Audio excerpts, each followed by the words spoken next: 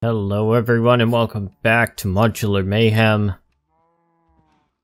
So I think I've finally got this next version of gems ready to go. Just going to do a little bit more testing here. So I've got the bows all fixed up. Their textures are correct. They have variable draw speeds. You can see the Heliodor, it draws pretty fast. Uh, if you were to make something like a flint bow, that would draw pretty slowly. And uh, one thing I I did is uh, previously with the mining tools, you could only place something by right-clicking with them if it was directly after the tool. But now, if it can't find anything in that slot, it will check slot number 9, the one at the end of the hotbar. So if you prefer to keep your torch bandolier on that slot, that's all good. And actually, that seems like a really good idea to me because that frees up a slot right here, which I could put a different tool in. So that's nice. Alright, and something uh, that I've just spent uh, quite a lot of time working on is achievements for this mod. And uh, may add more later on. I just kind of added a few here just for, for uh just for fun and uh, several to kind of give you some hints as to the progression of the mod. So we need a tool from this mod. Oops, I did not mean to throw that on the ground. Uh, I that requires you to craft a tool. One way to do that if you already have a tool is by decorating it. So let me see. Got a lot of amethyst. That'll work. So that will give the, me the achievement for crafting a tool as well as the tool decorating achievement, which again is kind of there to give you some hints as to the system. It says customize and repair a tool by crafting it with gems and maybe some other things. So it doesn't quite tell you everything, but it gives you a pretty big hint as to uh, this particular feature.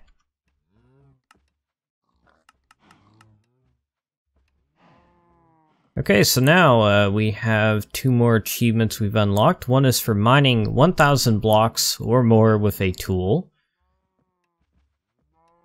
And that proceeds onto two additional mining related achievements. So we've got one for crafting a tool with an iron tipped upgrade.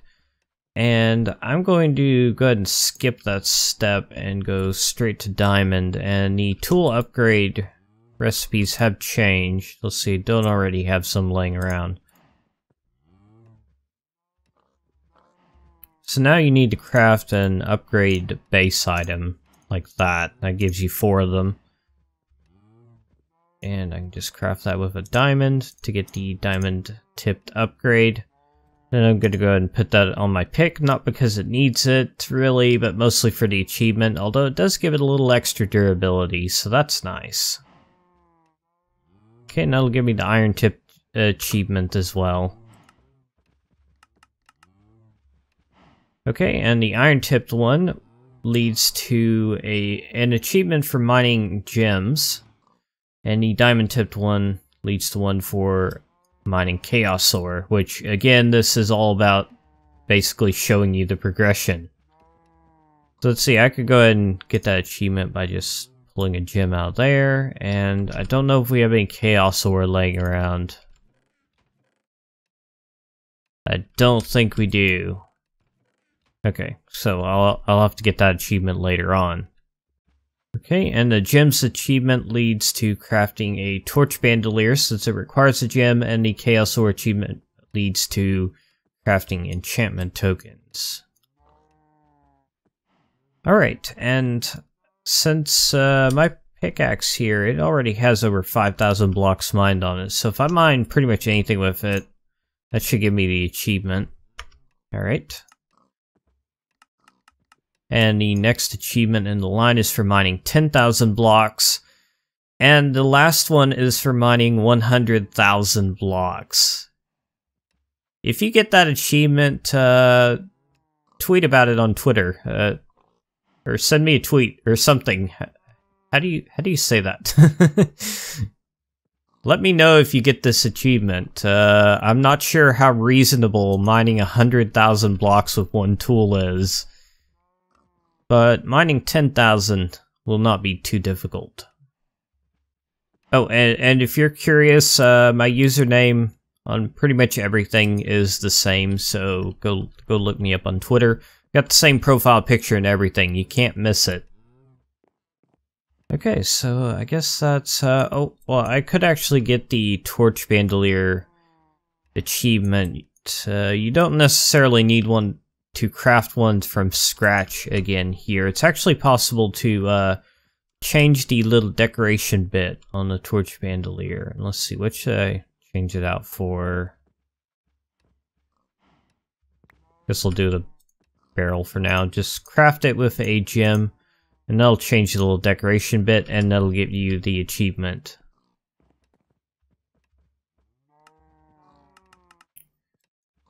Alright, that should be everything I can do without finding uh, Chaos and we'll just see how many of these mining achievements I actually get.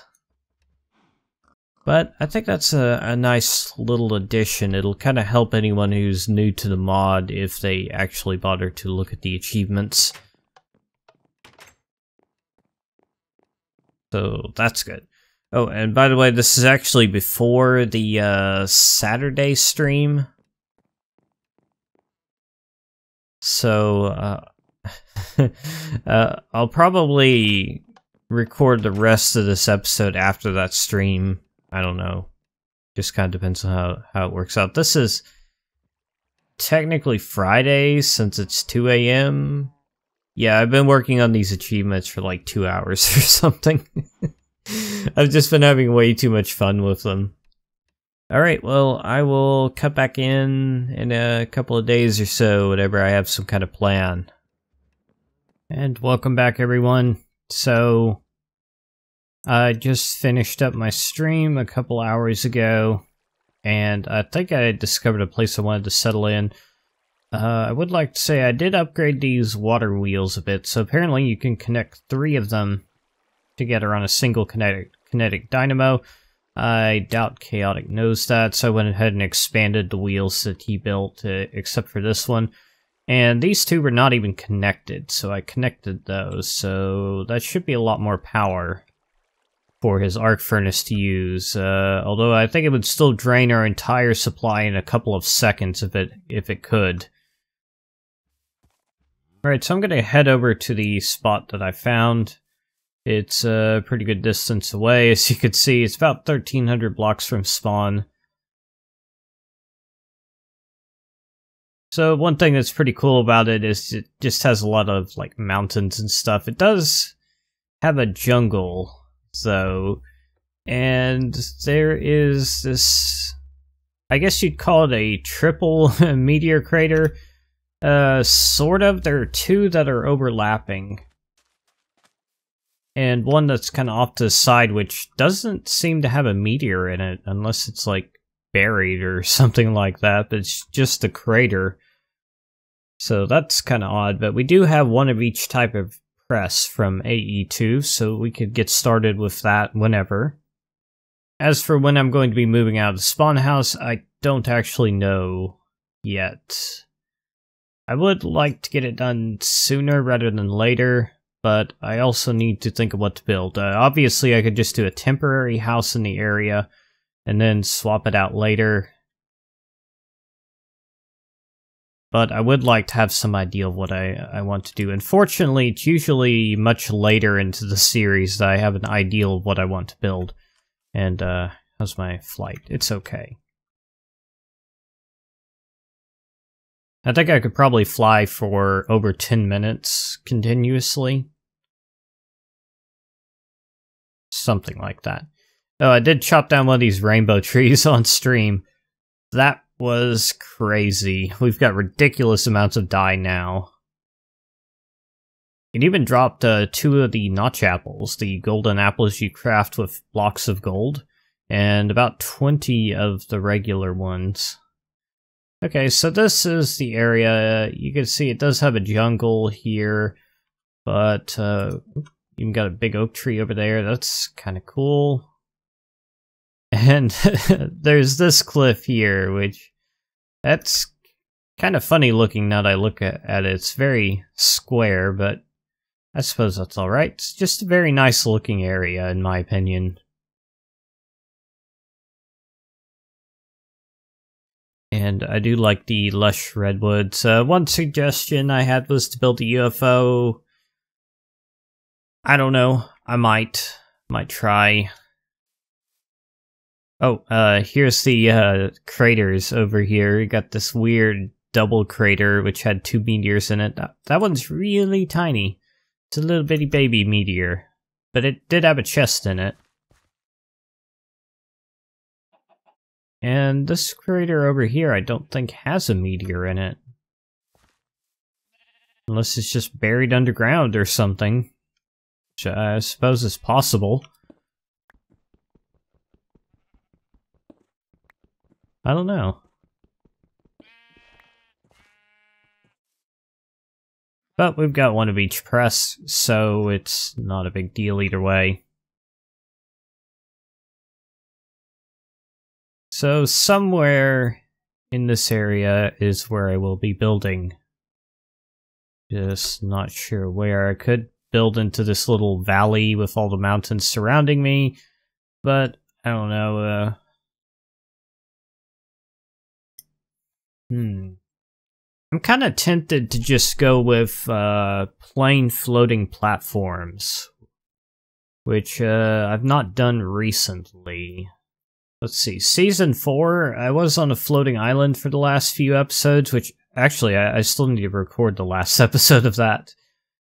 Season three, Chaotic had floating platforms, which was his season one. But I lived in a tower after living in a treehouse. Oh, all the the vines are doing weird things. I, I should have fast render off. Fast render on. Really? I thought storage drawers didn't render correctly if that was on. Hmm. Well, that seems to fix the flickering issue. All right, and if you're not quite sure what I mean by uh, floating platforms, it's just kind of a base ideal I had a while back where you basically just construct a bunch of platforms in the sky, connect them however you want, and it's just a really easy base to work with. Obviously, not very accessible from the ground, which is one of its downsides, but it's just really easy to build and work with because all you have to do is construct a floor and then build on top of it if you need more room, you just build another platform. So it's very easy to do, which makes it appealing, but also slightly boring, although it can look pretty good if done right. So, I don't know, I may just dig into the mount a mountain somewhere to start off with. Uh, maybe just like right around here if there's a good spot. Yeah, that's not too bad. So I could just clear some land around here, dig into the wall, maybe build a little entranceway, and just live in a cave until I get everything all sorted out to figure out what I want to build, what materials I want to use, and so on and so forth. So on Modded Minecraft Season 4, one thing I tried to do was spread out my stuff as much as possible. Uh, the tower, although it was convenient and easy to work with from the tower from season 3, it had the disadvantage of everything being in just a couple of chunks. So logging in would take a while. Uh, whenever you traveled to the area with the tower, the world would take a while to load in, it, just because of all the tile entities in one chunk. Or in just a couple of chunks. But you know what I mean.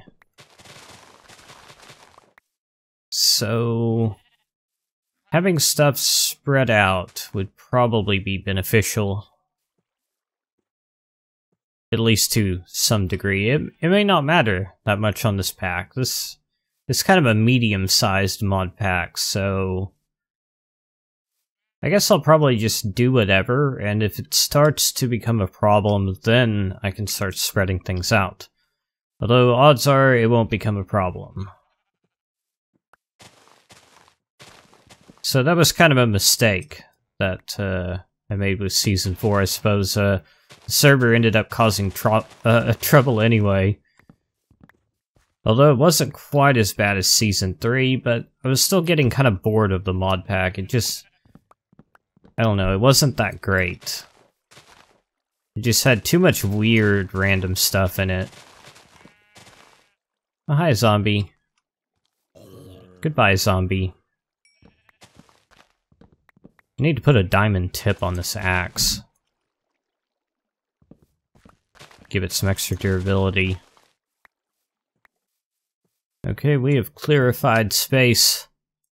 And I don't have an axe. Or, I have an axe. I don't have a shovel. Is what I was trying to say.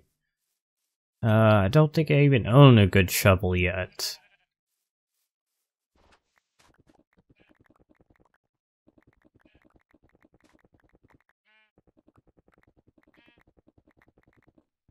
Okay, there we go. Just hollow out a little cave.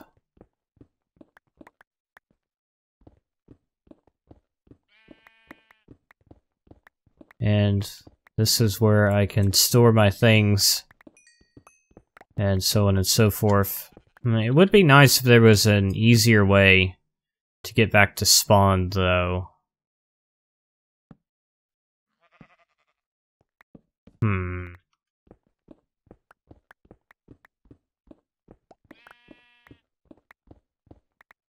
Yeah, I'm not really sure what options we have for fast travel here. So, Silent's Gems normally adds teleporters, but in this pack, they're disabled. And I've kind of been thinking about whether or not I want to change that or just leave it default. Uh, for now, I have actually re-enabled the anchors. So I could make a return home charm if I wanted to. Those do require a teleporter in order to work correctly. But otherwise, I'm probably going to try to play the mod pack as it was intended. I think there is some other kind of teleportation method in this pack. But I'm not sure what... Oh, some kind of beacon near here. That's a little bit obnoxious, actually. So whenever I stand in this corner, I'm going to have the yellow effect. Okay. How big is this? This is 7 by 7 Okay. So this is probably a good enough space for just a little starter area. Maybe make it one more tall. How close am I to getting the 10,000 blocks achievement? I've still got a ways to go. Oh yes, uh... uh oh yeah, I did cover the achievements already. Just recorded that like a day or two ago, and yet I've already forgotten. Alright, so we'll call that good enough for now.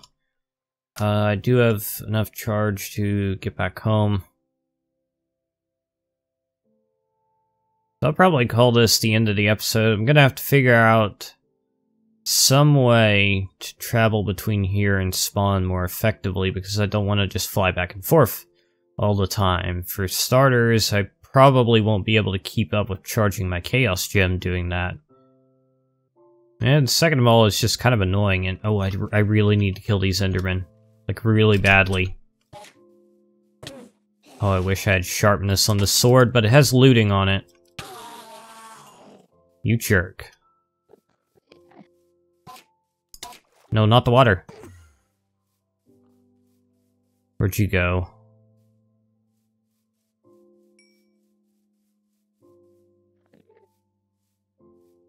Down there somewhere.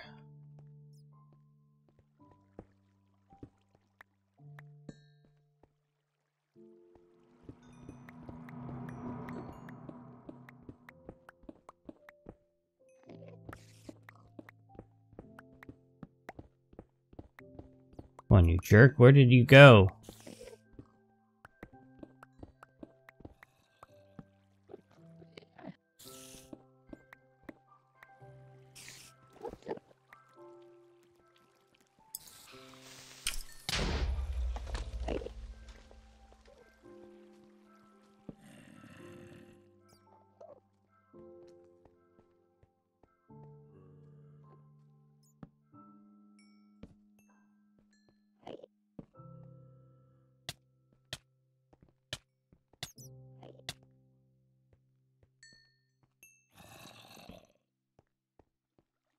Okay, I really don't know where the Enderman went. He's somewhere around here. I'm gonna keep looking. I uh, really need to go to the end pretty soon. Okay, well I better go. Thanks for watching. I'll see you next time.